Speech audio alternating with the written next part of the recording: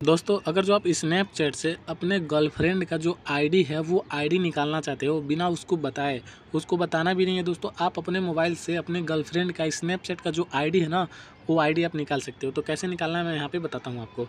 सबसे पहले आपको अपना मोबाइल स्नैपचैट ओपन करना है। यहाँ पे देखो, मैंने स्नैपचैट ओपन किया। आप जब स्नैपचैट ओपन करोगे तो इस तरह का इंटरफेस यहाँ पे आएगा। उसके पर से दोस्तों, यहाँ पे देखो, ऊपर आपको एक मिलेगा प्लस बटन इस तरह का एक ऑप्शन मिलेगा। मैं आपको तीर का एरो लगा दिया हूँ, आप देख लेना। इस वाले ऑप्शन पे आपको क्लिक करना है। यहाँ पर मैंने इस पर क्लिक किया। इस पर जब आप क्लिक करोगे दोस्तों तो यहाँ पे यह वाला आप इंटरफेस आपके सामने आ जाएगा। अब दोस्तों, यह वाला इंटरफेस जब आएगा तो यहाँ पे एक ऑप्शन मिलेगा आल कॉन्टैक्ट्स यहाँ पे देखो, यहाँ पे मिला है एक ऑप्शन आल कॉन्टैक्ट तो इस आल कॉन्टैक्ट वाले ऑप्शन पे आपको क्लिक करना है। यहाँ पर मैंने क्लिक किया। अब यहाँ पे क्लिक करोगे दोस्तों तो यह वाला इंटरफेस आपके सामने खुल के आ जाएगा। अब दोस्तों, यहाँ पे आपको क्या करना है यहाँ पे ऊपर आपको सर्च करने का ऑप्शन मिलेगा, ठीक है?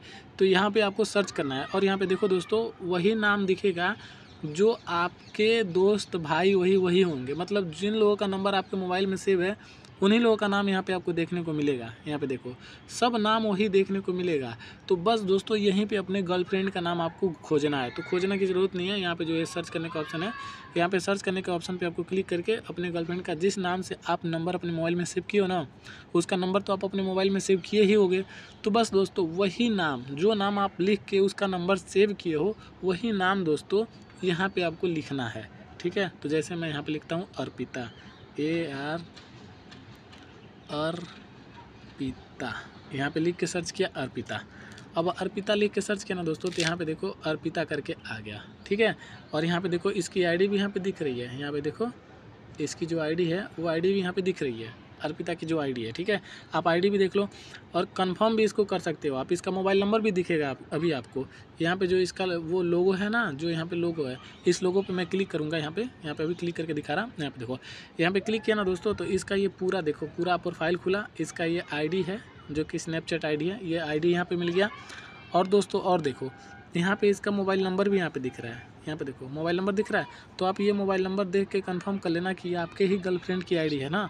और देखो, इसका आईडी मिल गया। अब दोस्तों, आप इसको यहाँ से मैसेज भी कर सकते हो। पहले तो आपको रिक्वेस्ट करना पड़ेगा मतलब यहाँ पे ऐड करना पड़ेगा आपको।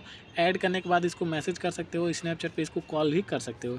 सो आई होप दोस्तों ये वीडियो अच्छा लगा होगा, क्योंकि इस प्रकार से दोस्तों आप अपने गर्लफ्रेंड का जो स्नैपचैट का आईडी है, वो स्नैपचैट की आईडी आप निकाल सकते हो।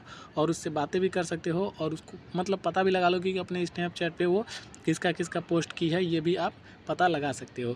ये वीडियो अगर जो आपको अच्छा लगा होगा तो लाइक कर देना यार, क्योंकि मैं बहुत अच्छे अच्छे ट्रिक आपके लिए खोज खोज के लाता हूँ। तो वीडियो को लाइक करना और चैनल पर नया तो चैनल को सब्सक्राइब कर लो भाई, ठीक है? क्योंकि आपको यहाँ पे एक नए नई तरह की वीडियो देखने को मिलेगी, ठीक है? इस तरह का वीडियो आपको यूट्यूब पर कहीं देखने को नहीं मिलेगा, इसी चैनल पर देखने को मिलेगा। तो चैनल पर नया तो चैनल पर सब्सक्राइब कर लो बेलाइकन को भी ऑन कर लो, क्योंकि जब भी मैं कोई नया वीडियो बनाऊँ तो आपको उसका नोटिफिकेशन मिल जाए। मिलते हैं किसी नेक्स्ट वीडियो में, तब तक लिए जय हिंद बंदे मातरम।